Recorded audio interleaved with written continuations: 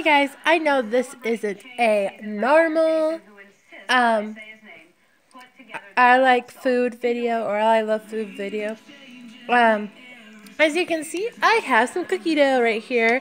And yes, it does say do not consume raw cookie dough. But here's the thing. I love raw cookie dough and I can't help myself.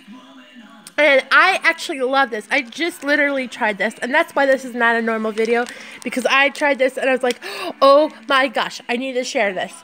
So first off, yes, this does say do not consume raw cookie dough. And if I get some manila poisoning, this is proof on what I ate before I got some some um, salmonella manila poisoning because salmonella poisoning comes from the consumption of raw eggs. And I'm sure there is some raw eggs in here somewhere. Something that says that there was eggs in this somewhere. If you can read that, you can probably tell me. If you see it says raw says eggs in it.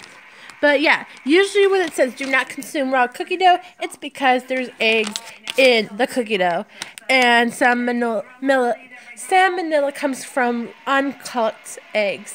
Also, you can get uh, you can also end up getting worms too from raw foods uh, such as cookie dough or raw noodles. So I wouldn't recommend this to people, but if you're like me and you like to be a rebel and get, and possibly get sick, do what I do and eat raw cookie dough. So this is actually a special one, as you can see. This is a uh, caramel apple spice cookie dough, and I really love it because, one, it tastes really good, and two, there is caramel in the middle of these cookie dough squares, and they make me so happy. Look at that. Okay, you can't really see it too much, but look. Yay! Doesn't that look good? I actually really like it. So, I just wanted to share this with you guys. I know you, a lot of you probably wouldn't do what I do because I'm an idiot. And even now, I'm idiot because I know what I'm doing is basically going to make me sick. And I still do it anyways. So, as you can see, I really do love cookie dough. So, okay guys, that is it for this video. I still hope that you have a fantastic evening, that your night is just worth calming down. Like sleep, sleep tonight. Just sleep tonight, okay?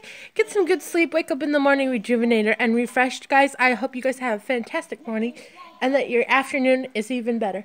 I'll talk to you guys later. Love you guys so, so, so, so, so, so much. And sparkle on sparkles.